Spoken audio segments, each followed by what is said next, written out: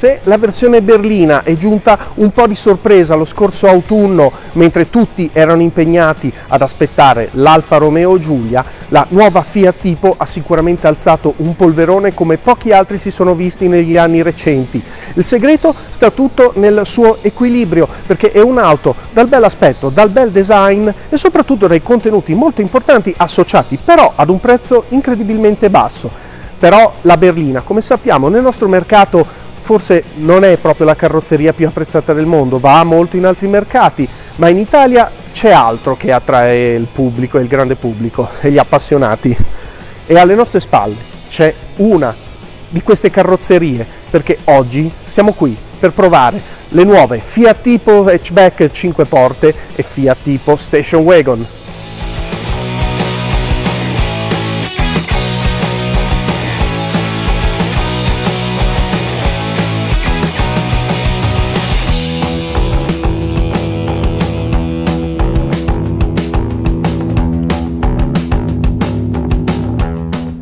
Cominciamo prima di tutto dallo stile, partendo dal muso. Come potete vedere l'aspetto è praticamente identico a quello della Fiat Tipo berlina. Notate qua la nuova griglia tridimensionale tipica della nuova gamma del gruppo FCA e in generale le linee si sviluppano in maniera orizzontale partendo dai fari e continuando poi sui fianchi. Facciamo notare anche le nervature presenti sul cofano che poi continueranno anche sul tetto ma in maniera sostanzialmente diversa.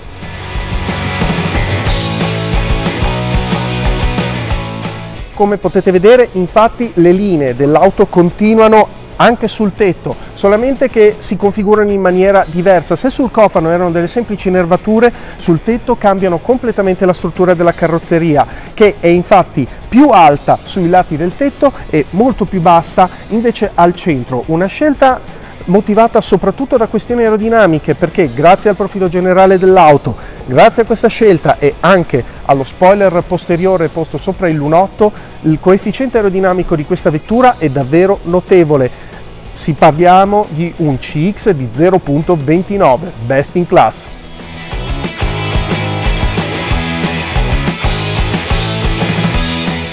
Naturalmente il pubblico che si rivolgerà a queste due nuove carrozzerie della Fiat Tipo può essere molto diverso, anche se stiamo parlando comunque di gruppi nu molto numerosi, come ad esempio le famiglie, che saranno probabilmente il principale target del gruppo di Torino. La hatchback, anche se la station wagon naturalmente riserverà molto più spazio di carico nel suo bagagliaio, riesce comunque a difendersi molto bene. Stiamo parlando di un bagagliaio che parte da 440 litri di capienza e che naturalmente abbattendo i sedili con dei comandi particolarmente semplici e ben posizionati all'interno dell'abitacolo riesce ad aumentare ancora di più, rispondendo quindi a un enorme gruppo di esigenze senza per questo perdere di compattezza o di praticità.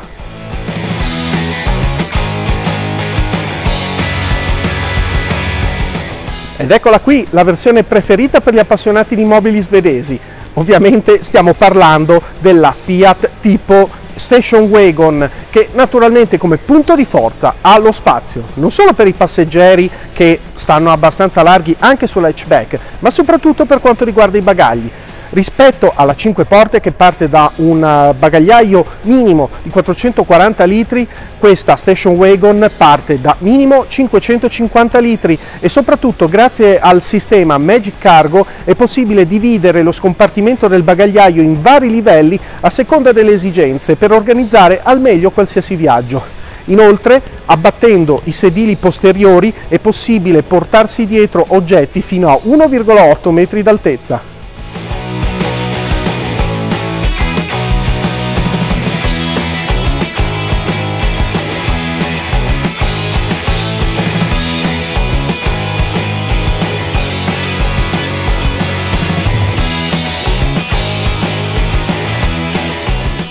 Per quanto riguarda gli allestimenti interni, questi sono comuni sia per la hatchback che per la station wagon e stiamo comunque parlando di un concetto identico a quello della Fiat tipo berlina, quindi materiali sicuramente di ottima qualità, senza esagerare, senza sfociare nel lusso, ma non è questo di cui parliamo, abbiamo comunque a che fare con delle gomme estremamente morbide, di buona qualità, un volante ben concepito e anche piacevole al tatto. E al centro degli strumenti concepiti per essere comodi, per non distrarre troppo dalla guida e soprattutto un sistema di infotainment aggiornato all'ultimo software Uconnect Live e con il supporto per i programmi Apple CarPlay e Android Car che consentono di prendere fisicamente ciò che vediamo sullo schermo dei nostri smartphone e trasferirlo direttamente sullo schermo dell'auto, una personalizzazione massima.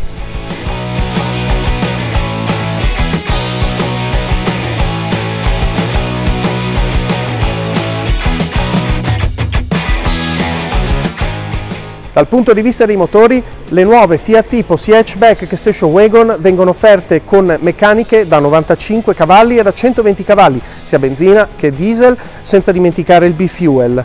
Il porte aperte per la hatchback è previsto per i prossimi 14 e 15 maggio, mentre la station wagon sarà nei concessionari a partire da settembre. I prezzi di partenza sono di 12.750 euro.